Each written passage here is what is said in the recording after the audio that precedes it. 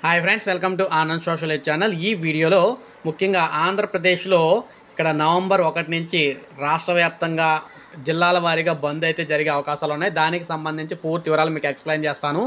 ఎందుకు బంద్ జరుగుతుంది ఏంటి అనే దానికి సంబంధించి టాపిక్లోకి వెళ్ళిపోదాం.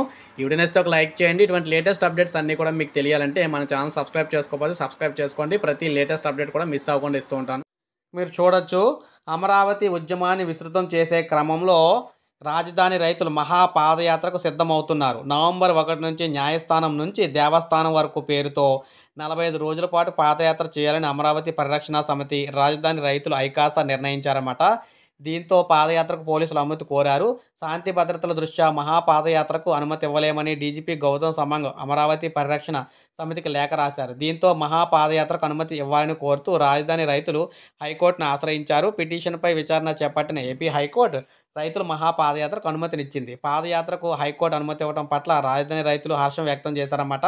సో నవంబర్ ఒకటి నుంచి నలభై ఐదు రోజుల పాటు ఆయా జిల్లాల్లో వారు వెళ్ళే ప్రాంతాల్లో ఈ పాదయాత్రలో మహా పాదయాత్ర చేస్తారు కాబట్టి వేల సంఖ్యలో జనాలు పాల్గొంటారు కాబట్టి అక్కడంతా కూడా బంద్ చేసే అవకాశాలు అయితే ఉంటాయన్నమాట. అదేవిధంగా ఆ టైంలో క్లోజ్ చేసే అవకాశాలు అయితే ఉంటాయి అన్నీ కూడా ఎందుకంటే ఉద్రిక్తతలు ఏర్పడకూడదు కాబట్టి.